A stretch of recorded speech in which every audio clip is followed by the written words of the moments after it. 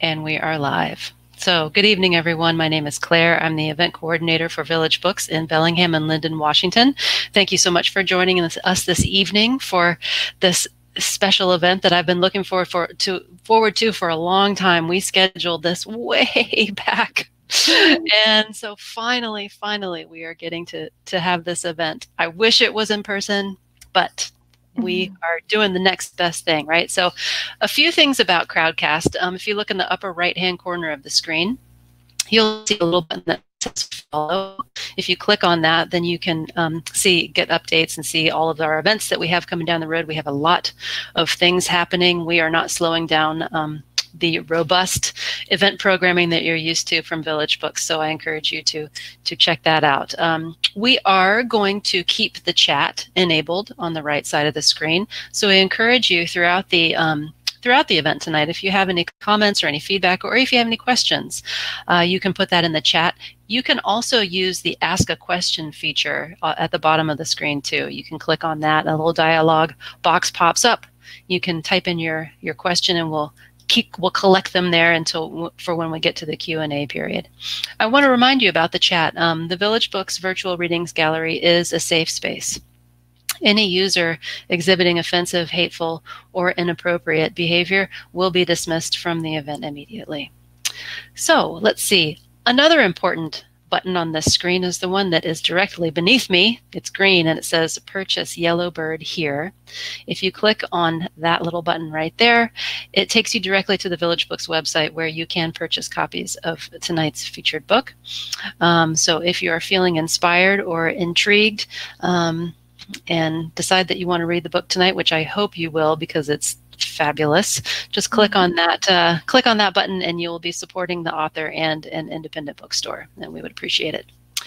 To any of you who did make a contribution at registration this evening, um, happily our event programming is all free, but we mm-hmm. do appreciate those of you who maybe kicked in a few dollars at registration. Um, it does help us in these totally weird times to maintain the um, the programming that that you everyone has come to expect from us and love. So um, so thank you so much for that. If you didn't, that's fine too. Like I say, I'm glad that we can continue to provide free programming.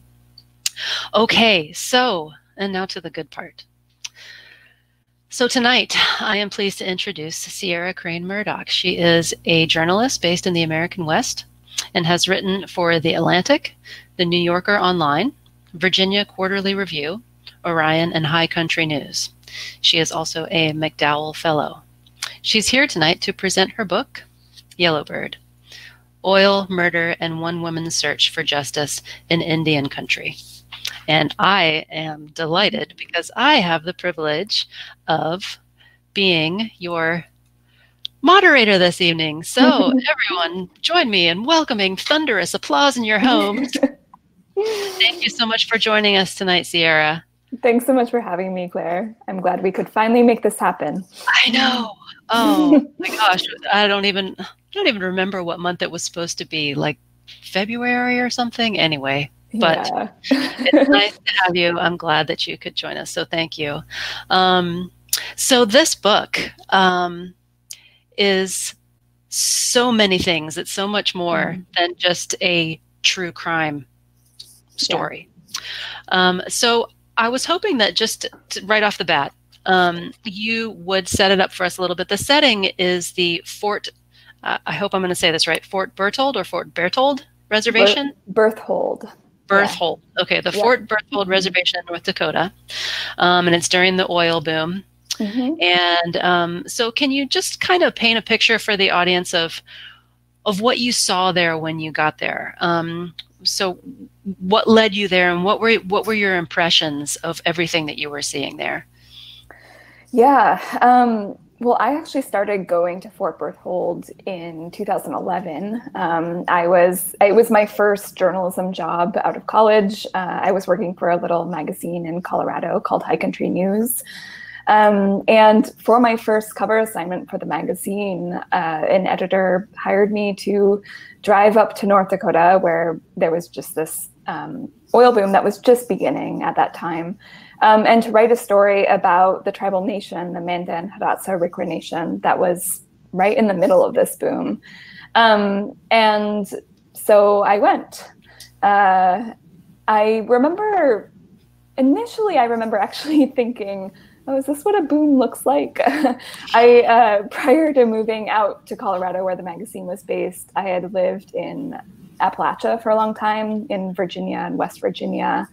And so I was actually very familiar with boom and bust areas. I was familiar with coal towns specifically, and and I knew there actually uh, because I had sort of begun my journalism career there and had written a few stories about the end of the coal boom. Um, I knew that that industry was very much transitioning. It was in sort of a post-industrial phase um, they were literally just like blowing up mountains and scraping off the last seams of coal because there wasn't coal to actually dig from underground anymore. Oh, and full disclosure, um, I'm a West Virginian born and oh, raised. You are? So yeah, so I, I, forgot to tell you that when we were meeting earlier because that was something yeah. I wanted to ask about. But yeah, so so yeah, um, when you when I when I read that you had come from mm-hmm. the Virginias out here, I thought, wow, I bet I bet she yeah. saw some some some similarities.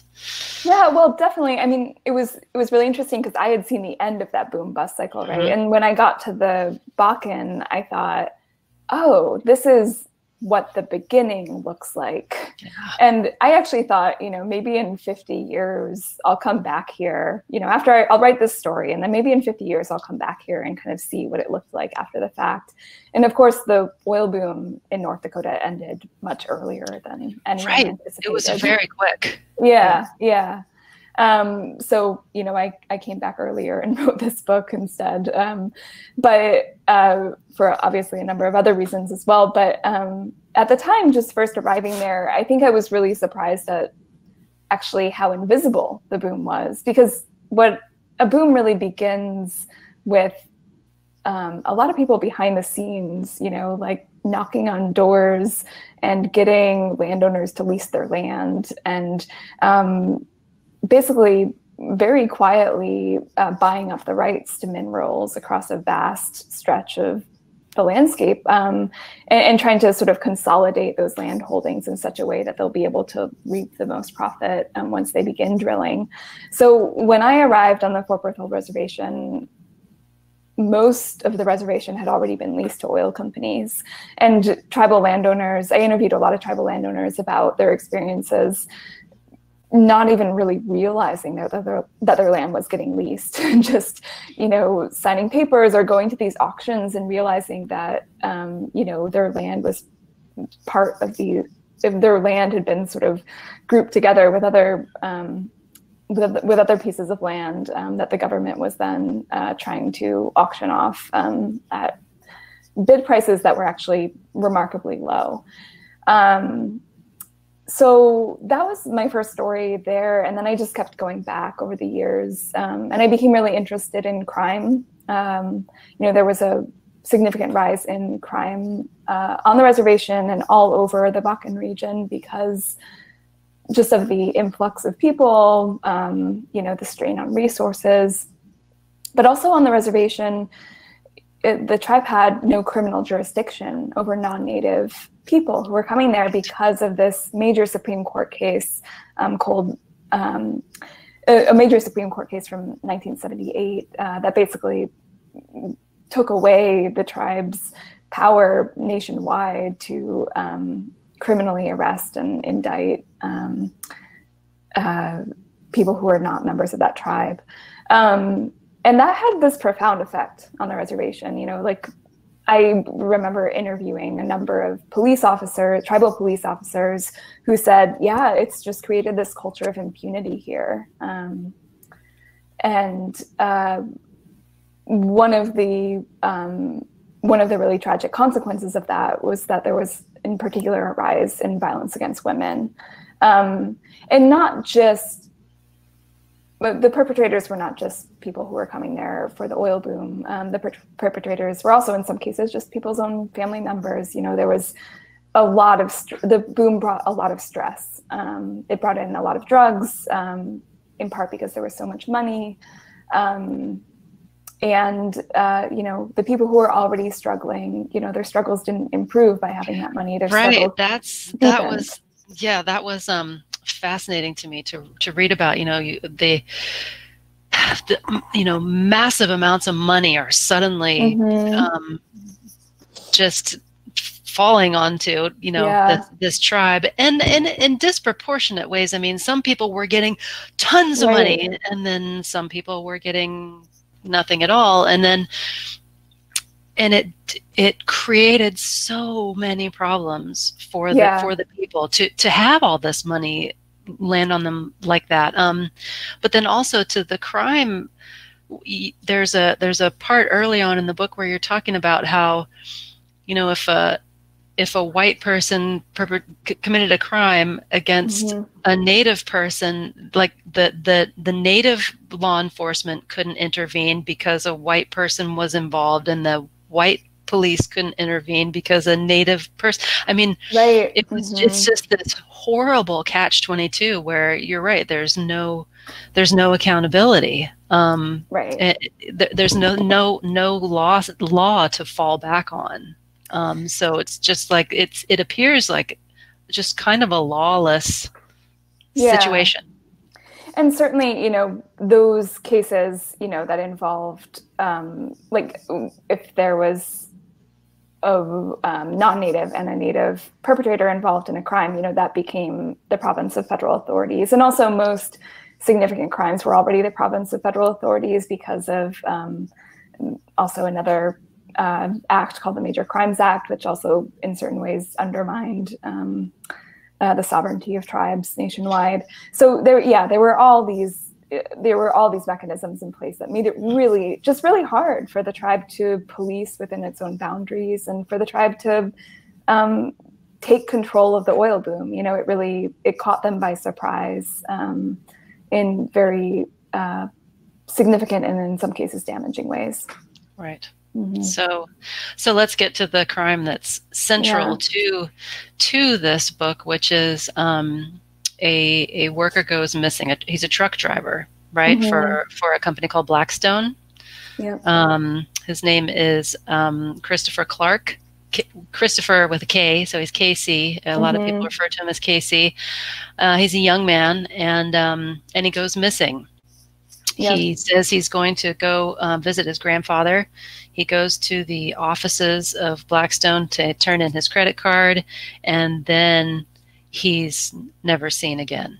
Mm-hmm. So, so what happens next is mm-hmm. just very strange because in steps this woman mm-hmm. who just takes up this case, like makes it her obsession, really. Right. To mm-hmm. find out what happened to Christopher Clark. And so yeah. please tell us about Lissa Yellow Bird.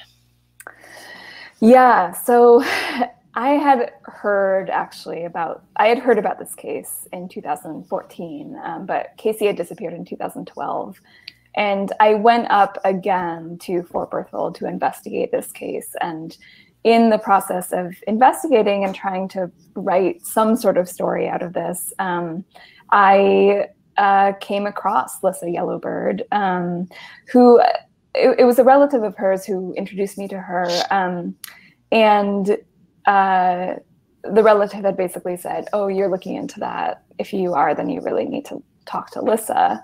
And I, at the time, just knew her as someone who had actually been searching for Casey Clark's body. Casey Clark still had not been discovered at that point. Um, and uh, a lot of people have been looking for him. Um, authorities have been looking for him, but the person who really had been looking for him for a very long time had been this woman, Lissa, and she was a member of the tribe. She actually didn't even live on the reservation at the time. She lived five hours away in Fargo, so she was just driving like all through the night. You know, Friday after work, she worked as a welder at the time, and she'd drive all the way out to the reservation and she'd camp or she'd stay with her relatives, and then she'd drive all the way back on Sunday night and then go to work at 4 a.m. the next morning. Um, so, yeah, you're right. It really was this obsession. Um, but when I actually met Lissa, um, that was when I realized that not only was she searching for Casey Clark, but she also had immersed herself very deeply in this case. Um, in ways that were very surprising to me. Uh, um, and in order to kind of show me how deeply that she had immersed herself in this case, um, she invited me out to Fargo. So I flew out to Fargo, and she would go to work during the day, um, and I would. Uh, I was sleeping on her floor at the time. She had a number of kids who were living with her still, and um, and then she would just when after she left for work, she would just leave her computer open, um, and she would just let me kind of sift through her hard drive and download all of her documents, uh, thousands upon thousands of pages of text messages and email conversations and um, Facebook messages, and and not only that, but like audio recordings of phone calls she made with people, or audio recordings of um, of scenes that eventually made it into my book um, when she was asking people questions or visiting people and just trying to dig up any information she could about Casey Clark's disappearance. Um, and what I found as I was reading through this correspondence was that she had, um, in some cases, like befriended um, some of the people who she believed were really close to this crime and may have been involved or may know something. Um, she had tried to get as close to them as possible. And um, I was just, of course, like completely fascinated and blown away by this. Yeah, she's um, she's so. Um, I mean, it, it's uh, she's manipulative, but you know, she's manipulative to, to get the information that she's you know she's trying to solve this mystery, and she she does what she needs to do to try right. to get to the truth. She's tenacious. Exactly. yeah, she has a very clear sense of justice, and she pursues that in ways that some of us might consider morally questionable. um, yeah, so, and, and, yeah. and she's she's, but then to, so now we've we've got kind of this idea of this woman who's obsessed with this case, but mm-hmm. what we need to share with people is so Lissa went to University of North Dakota, right? And she got mm-hmm. a degree in the criminal justice program there, right? Right. Mm-hmm. So she's, but then she also found herself in the criminal justice program as um, a drug dealer, mm-hmm. and, and, as in she she is a recovering uh, alcoholic and drug addict. Mm-hmm. Um, she was a stripper. Um, she so she found herself on the wrong side of the, of the law and, mm-hmm. and did mm-hmm. time. Um, and she has five kids. Yeah. Um, grandchildren. Mm-hmm. Uh, her personal relationships are fraught. but mm-hmm. so she's there is just so much to this person. Right. Um, yeah. I remember someone said she was insatiably curious about the world, and I think mm-hmm. one of her mm-hmm. sons says um, she has nine lives that never end. Her daughter, yeah, yeah. Her, her My mom is like the cat with nine lives whose lives never run out. right, because she, you know, got hit mm-hmm. by a mm-hmm. truck. She, uh, right. but so, um, so yeah, I I know that a question that everybody asks is why was she so obsessed mm-hmm. with this particular case of a, of a white man going missing right looking looking like perhaps killed by other white people not from mm-hmm. the reservation so what do you have any insight as to what it was about this particular why, why casey's case yeah, um, well, that is the question I begin the book with. and it's a question I try to answer by the end. So I don't want to spoil too much okay. of that thought process for, for readers. But, um, but yeah, you know, I uh, there are so many reasons, so I can speak to some of them without spoiling it. I mean, um, and I don't I don't think there's one explanation, right? I think uh, you know she has said you know in the beginning she had emerged out of prison. Um, like you said, she was someone who had lived on both sides of the law. Um, she'd gone to prison for dealing drugs. Uh, she had been addicted to meth and to crack previously. Uh, she was in recovery. And she was looking for kind of a distraction, like a way to stay sober. Um, and, uh, you know, she was working full time by the time by the time that she began searching for Casey Clark. Um, but while she maybe was looking for distraction, she also was someone who was quite distractible. you know, that I've learned um, that she uh, she is someone who has uh, nurtured a lot of obsessions over the course of her life. This one just happens to have been one that um, was particular, like really overtook her life in a in a very big way. At one point in the book, uh, her daughter Shauna, who I also spent a lot of time with, says um, she was the one who said, had that comment about the cat with nine lives, but um, she also says, you know, she gets angry with her mother because her mom, because Lissa is so obsessed with this case, and and she says, you know, it's it's like you subbed one addiction for another, um, and I think Lissa believed there was some truth to that as well. Um, that she is someone who, yeah, does have these these obsessions that uh, can become addictions, and um, and this happened to be one that was sort of for the greater good, and one that helped her helped her uh, stay healthy and helped her stay sober. Yeah. Um, so those are some reasons, but there are also, you know, there are deeper reasons. I mean, I think what becomes clear over the course of the book and what be, has become clear to me in the time that I've spent with Lissa is that she has this deep, deep well of radical empathy yes. for, um, for people of all kinds, you know, and, and I think, uh, um, you know, she now is someone who searches for uh, many missing people, not just um, Casey Clark, and she uh, really has begun to search quite a bit for missing and murdered Indigenous people, um, men, women, and children. And um, this is a cause that she cares about deeply, and it's become her life. She now is no longer a welder. She does this kind of work, and she works in the recovery community full time. Um, and so, uh, you know, through this book, I was able to watch that transformation. And, um, you know, I think I have done, I, I worked on a, a, podcast for This American Life this spring about Lissa's search for her niece um, who went missing. Um, and that, in many ways, was a transition point for her and beginning to search more for Indigenous people. Um, but this case still felt really important to me, even as she was beginning to enter that work that was getting a lot of traction nationwide.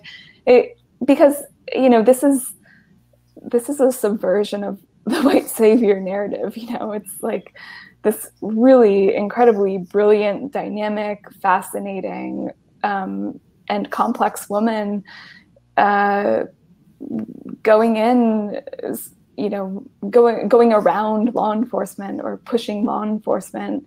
Um, in this case, involving um, mostly white people, um, and so I think there was something satisfying too about that um, just being outside the grain in terms of um, the narratives that we so long have um, have seen emerge from places like Indian country.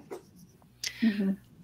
I appreciated how um, how she she goes out searching, and it's it's um, and sometimes she involves family, sometimes she involves mm-hmm. her sons, and it's uh, it's it's spiritual. She's mm-hmm. when she's searching, she's not just like she is very she's guided by her I don't want to say gut or instinct mm-hmm. because it's because it's more than that. It's deeper than that. It's it's mm-hmm.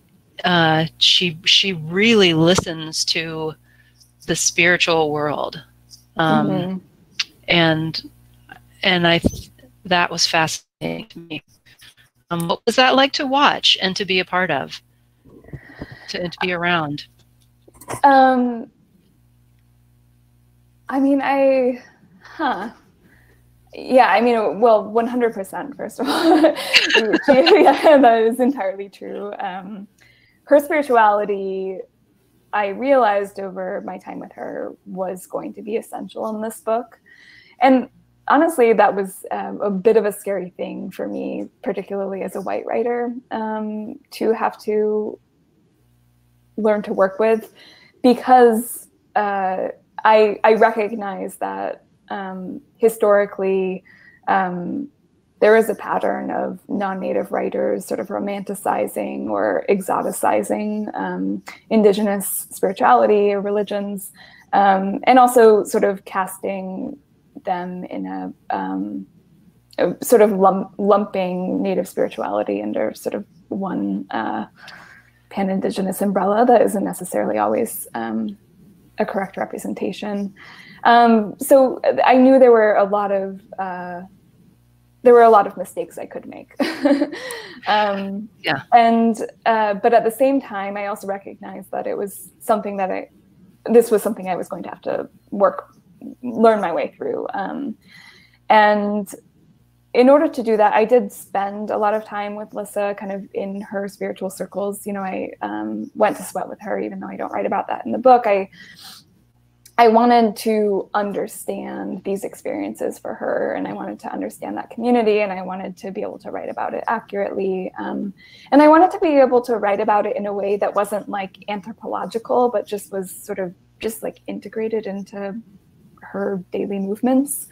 Mm-hmm. Um, and uh, so yeah, so I, I, did that by just spending a lot of time in in those spaces with her. But at the same time, too, I I began to recognize that her spirituality, you know, was um, it had a number of different influences. You know, it was influenced by more traditional Lakota culture. Um, she was uh, very involved in the Sundance community.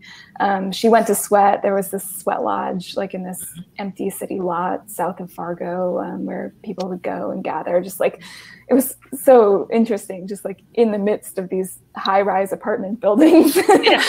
we don't just be praying down in there, um, and then eat like sloppy joes in the little shack afterwards. Um, and then. Uh, you know, but she also grew up Catholic. You know, her family was extremely Catholic um, due to the missionary influence uh, that had co- arrived on the reservation in the 1800s. Um, so you know there were there were a lot of influences to her spirituality, um, and she was kind of redefining it for herself also in her recovery. Um, I loved. she she had a lot of thoughts on sort of the way spirits occupy the living world and and the way they move and how they can like pass between objects and mm-hmm.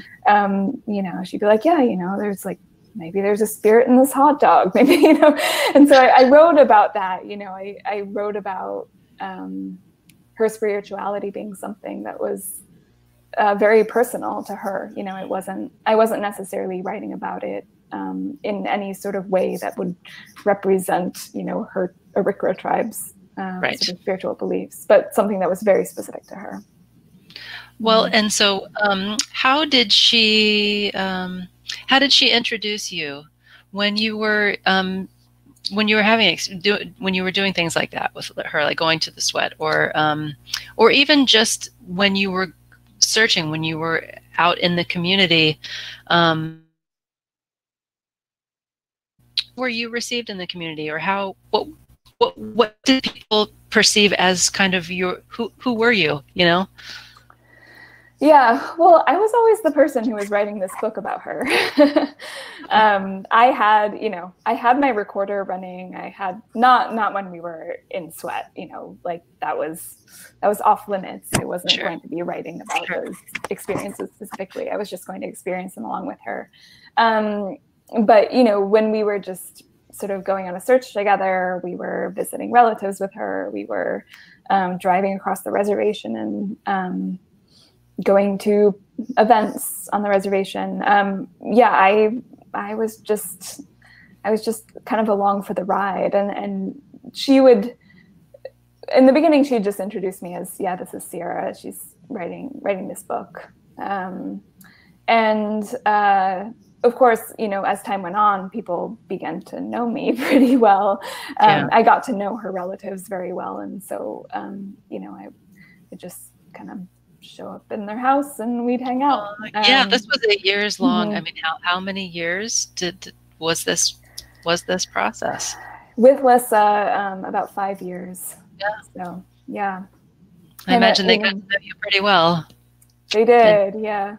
yeah. Yeah, and you know, I I think that was this was a project that Lissa obviously um, believed in after a little while. You know, it took I think a year of us really getting to know each other um, for her to get to the point where she knew that I was going to that I was along for the ride for a long time, and um, and she felt invested in that herself.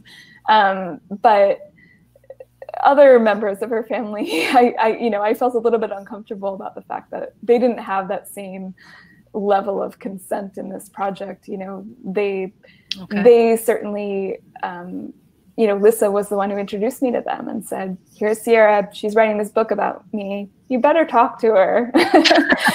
and not, you know, not everyone talked to me, um, but most of them did, and um, and incredibly grateful to them for that. Uh, and uh, yeah, so uh, yeah, eventually they became very, very used to me coming around.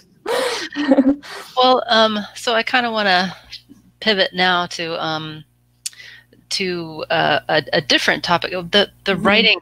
The I I want to gush a little bit about your writing. well, I, I really like your writing style. Um, and um, so before I read the book, I came across coincidentally um, there was an excerpt of it in Harper's, right? Yeah. Mm-hmm. And it wasn't it the the piece on Uncle Chucky? It is, yeah. Okay, so. Yeah so I read this piece before I had even read the, the book. Before we had, I knew that you were gonna gonna be coming to Bell- coming coming to Bellingham. Yeah.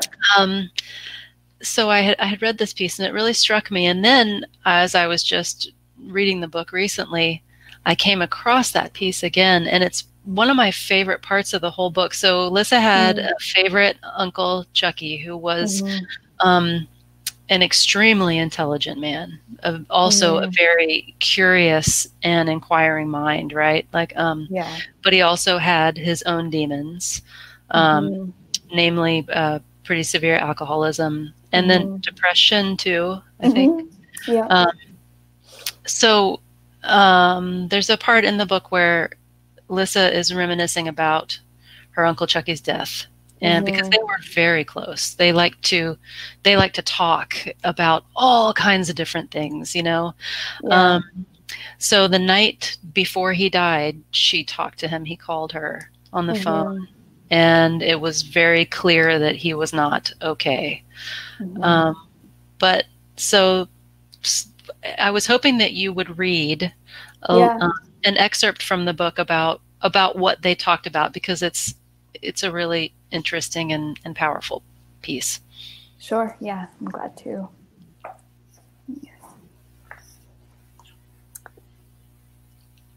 She often thought of what her uncle had said to her that night. He had said a lot of things, but one thing he kept coming back to. He had been reading about human DNA, about the way our family histories are imprinted on our nucleotides.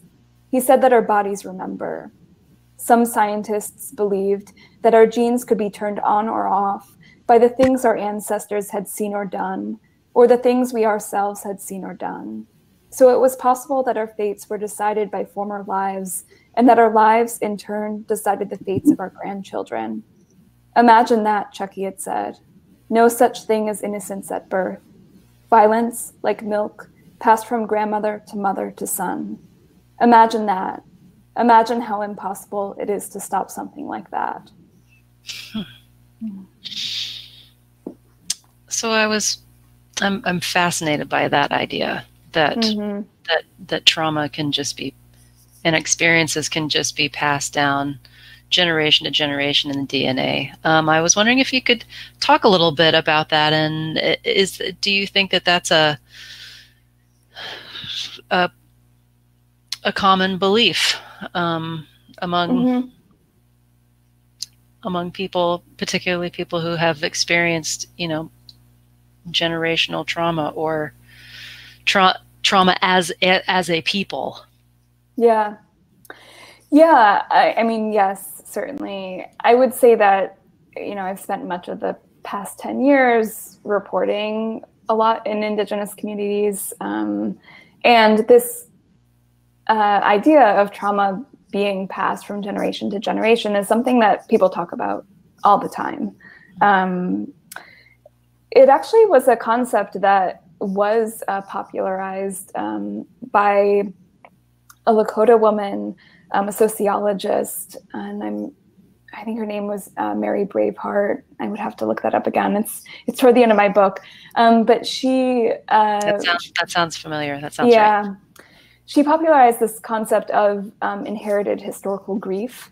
Um, that you know there were layers of trauma um, within tribal communities across the country, really within indigenous communities across um, North America, um, that you know, really began with um, periods of genocide, with disease, with being forced onto reservations um, and not having access to hunting grounds or gathering grounds, not having access to the kind of um, self-sustaining lifestyles tribes had had previously, um, to then boarding schools, to children being separated from their parents, um, to uh, then in the case of this reservation, um, and actually many reservations along the Missouri River, um, there were a series of dams that were built and uh, that flooded out a majority of each of these tribes, uh, most um, most productive farmland where many of their villages were. And so these tribes, including the uh, Mandan-Hidatsa Nation, were then forced to relocate onto higher ground um, rebuild everything from scratch. Um, and through that, uh, became much more dependent on federal assistance, which is highly unpredictable.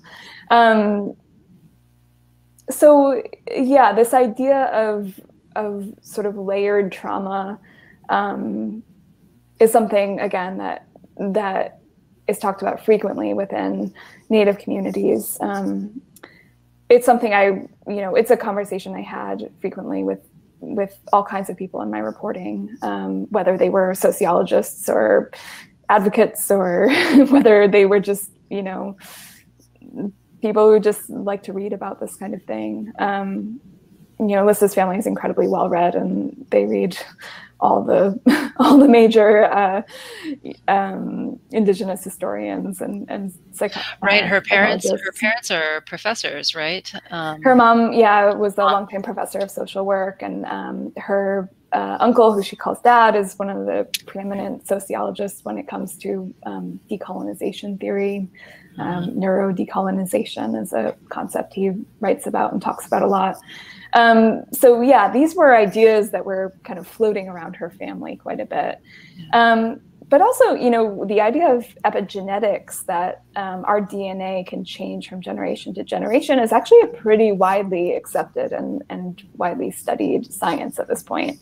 Um, and yeah, it, you know, I put it into more poetic terms in, in those paragraphs, but um, Chucky was reading articles about uh, he was reading scientific studies that were emerging um, from this field of epigenetics about the way that um, our genes can be altered um, in certain ways.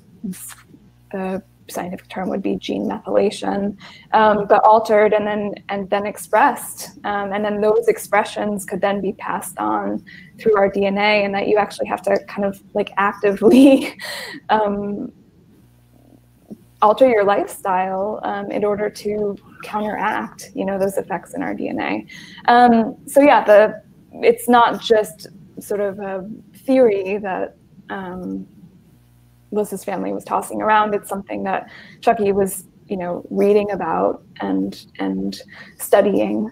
Um, and so he would call he would call her and they would have these conversations about inherited trauma. And um, and he talked about it that again the night before he died. And and that you know as a journalist i i always try to be very careful about taking frames and, and imposing them on on the stories i'm writing right because you want to create space for stories to surprise you and to turn out differently from what how you expected um, mm-hmm. but it became very clear in all the time that i spent with lissa and her family and particularly in this story about Chucky, um, who I knew pretty early on in my process that he would become a really essential part of this book. Um, I, you know, I, I, knew because of that that inherited trauma um, was going to have to become, you know, a big part of this story.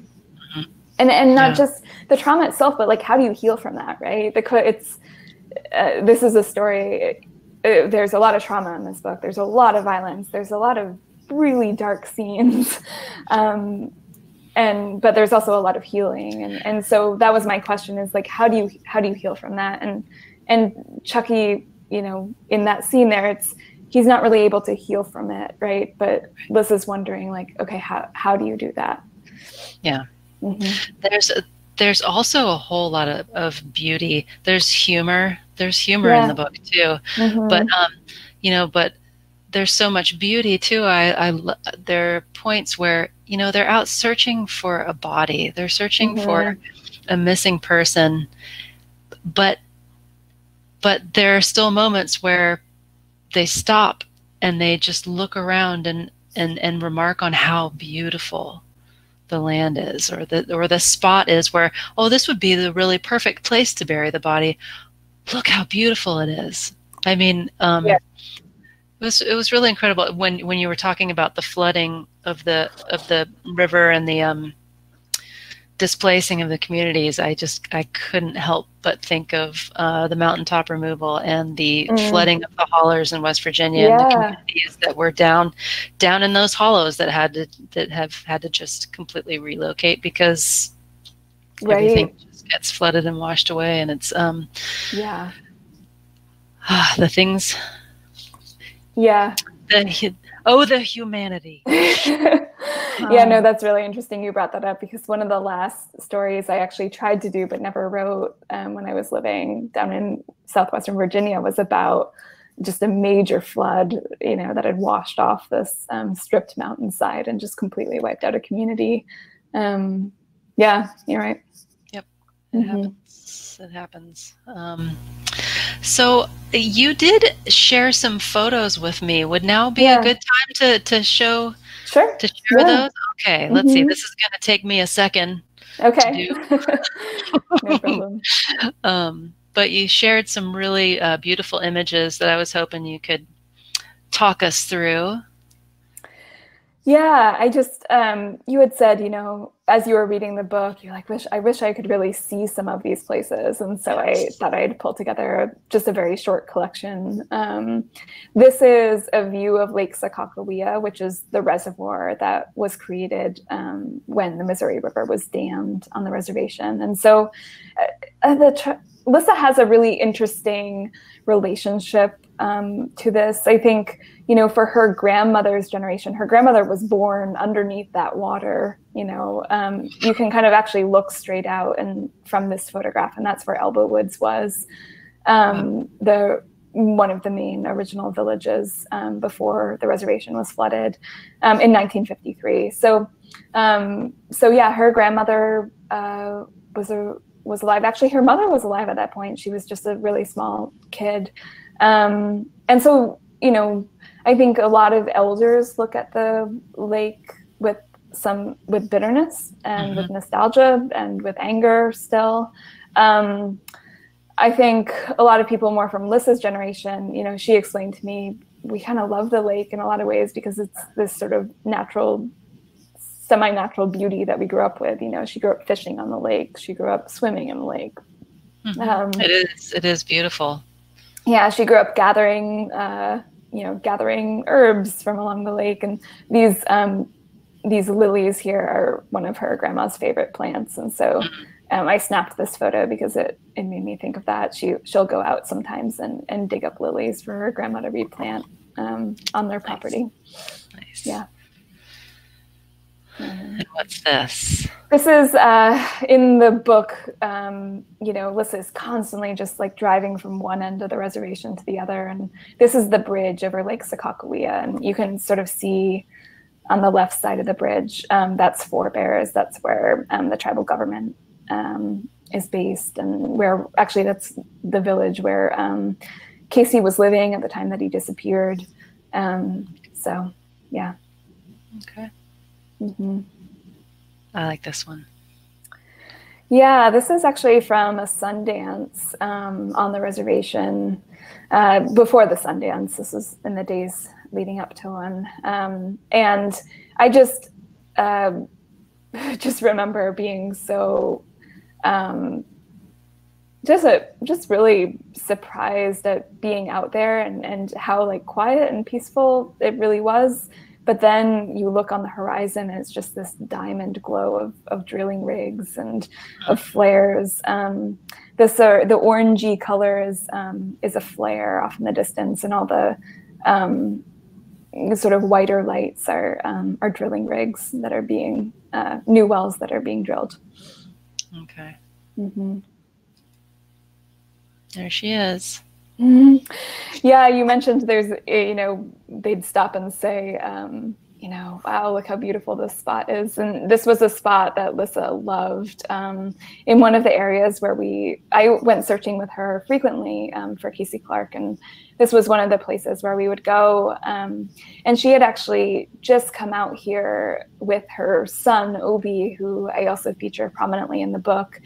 And he, they have a, a, difficult relationship through much of the book, and and then um, he does end up coming with her on a search, and um, she describes him coming out. They both mm, sort of interviewed separately with me about about this uh, search, but she described him um, just kind of getting a sense for what she's been doing out there, and and realizing just how beautiful this place was and and she described him sort of tumbling down this little hill and then ending up in a little uh, grove of um, of trees and then opening up and looking out over and seeing this unbelievable view down into the clay canyons.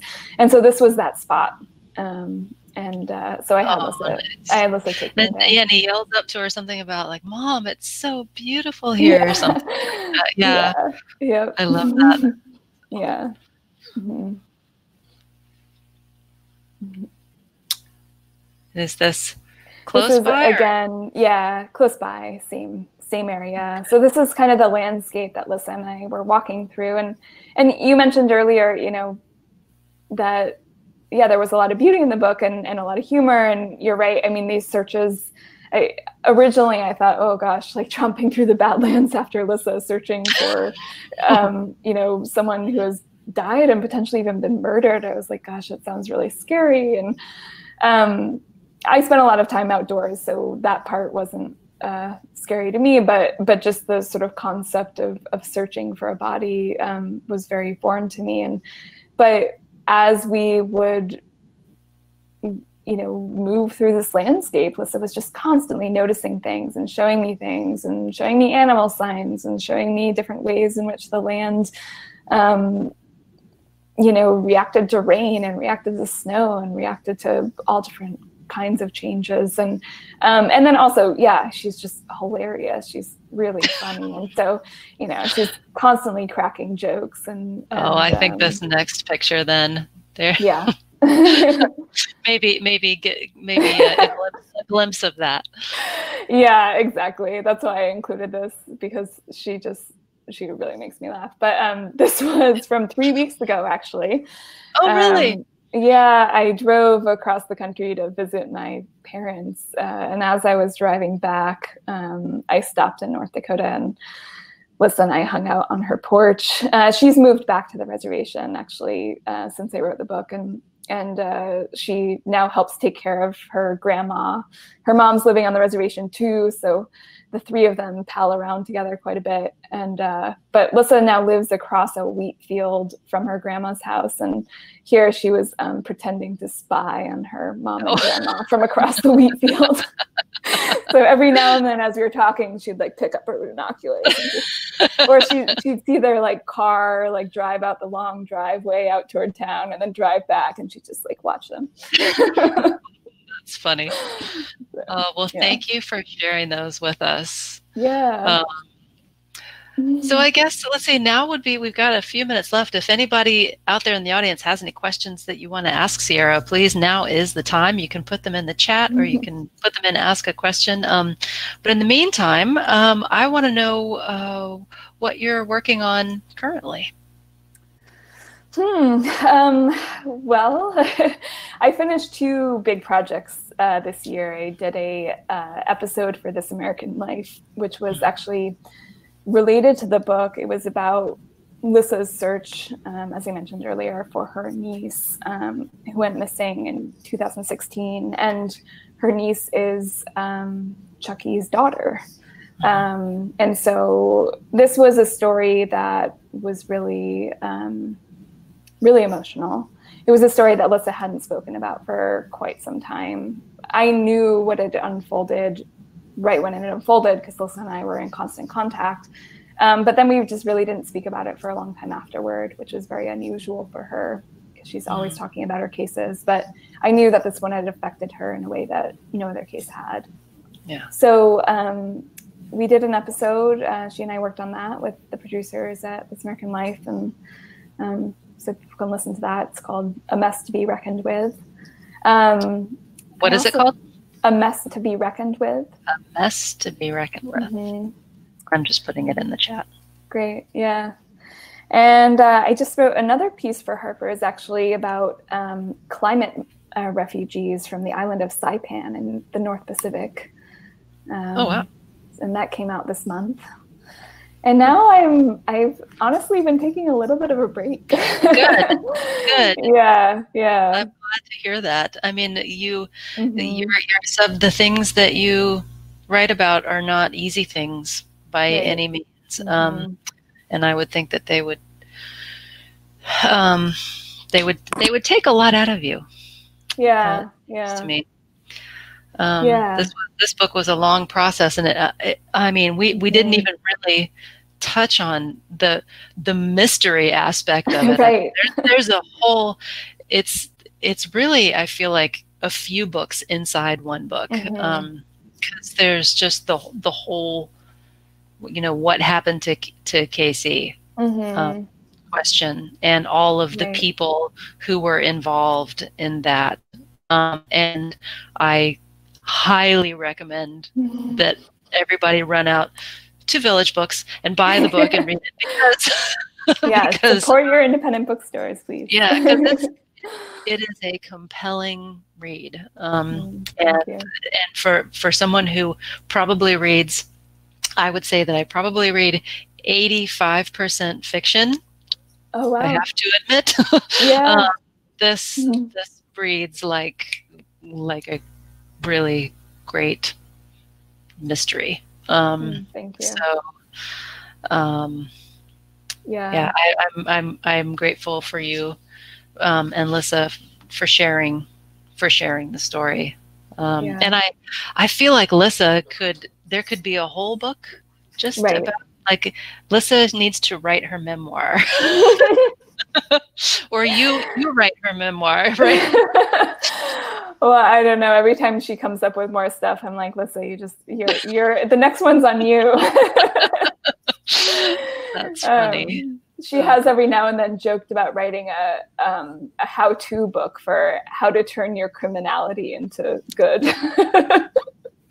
which you know makes a lot of sense. uh, and yeah. yes, I mean yeah. that's that. I I bet you it would be a bestseller. so yeah. Okay, well, unless I mean we don't have very much time left, unless nobody has any questions, I think. Unless there's mm-hmm. anything else that you want to to share about the book or about anything else before we go. I'm no, so grateful for you yeah. for coming tonight. This has this been wonderful. Was... Yeah. Thanks for making this happen and asking such great questions. Well, it's my pleasure. I, I, I could have asked a whole lot more, but I also realized that we don't want to tell the audience everything. Right, right. So, yeah. So, all right. Well, thank you very much. And yeah. um, I guess we will. Oh, Anna says thank you. And then I guess we had people from the from the Bay Area. Myrna mm-hmm. and Leon from from San Francisco. I don't know if you know them, but uh, anyway, people from from the Bay Area. That's cool. So that's really cool. Yeah, thanks everyone for joining. This has been really fun. All right. okay. Cool. And with that, I will say over and out. Okay. Take care. Okay.